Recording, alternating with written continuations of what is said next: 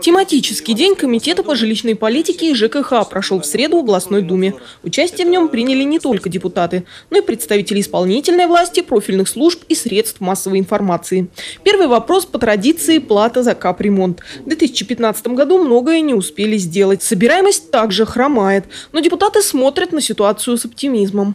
Программа капремонта, э, я ее вкратце вот затрону, она, э, если рассматривать в течение года, конечно, она не будет исполнена, но взаимодействие и с правительством, и э, работа правления попечительского совета привели к тому, что сегодня утверждение этой краткосрочной программы, изменения и то, что на сегодняшний момент этому вопросу начали уделять глубокое внимание – я думаю, что ситуация выровнялась. У нас сегодня собираемость э, увеличилась. У нас основными, э, так сказать, проблемными неплательщиками это являются несколько муниципалитетов, правильно? Значит, которым, я думаю, в настоящее время тоже со стороны правительства будут приняты определенные меры воздействия для того, чтобы они исполнили свои обязательства. Прозвучал вопрос о стоимости капремонта. Сейчас она составляет 5 рублей с квадратного метра жилплощади. Не планируют ли в Москве повысить для ивановцев размер платы? Сегодня вот 5 рублей – это, наверное, самое оптимальное. Повышать то, что сегодня э, такая типа как тенденция или обсуждается вопрос о том, что вот устанавливать эти цифры будет федеральный центр. Я с этим не согласен. Потому что, э, я понимаю, жираф большой ему виднее, но они так далеко находятся на сегодняшний момент от э, того, что происходит в регионах, что, наверное, все-таки регионам виднее.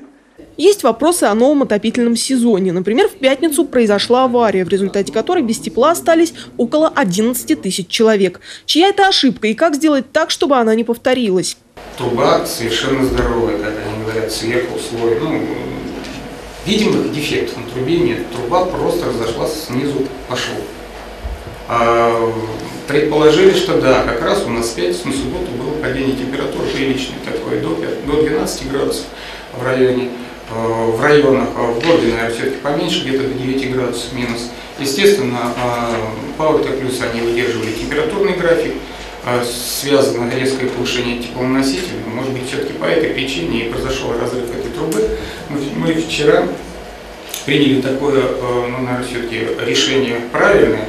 А вот на момент вот этих пиковых перепадов температур все-таки как-то сглаживать вот эти вот температурные графики, не выводить максимально на тот режим, который должен быть, а все-таки производить это э, равномерно.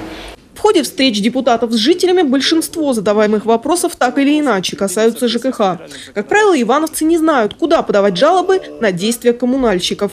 Потому решено подготовить информационные буклеты с целью повысить коммунальную грамотность народа. Наталья Гутарина, Денис Денисов, РТВ Иваново.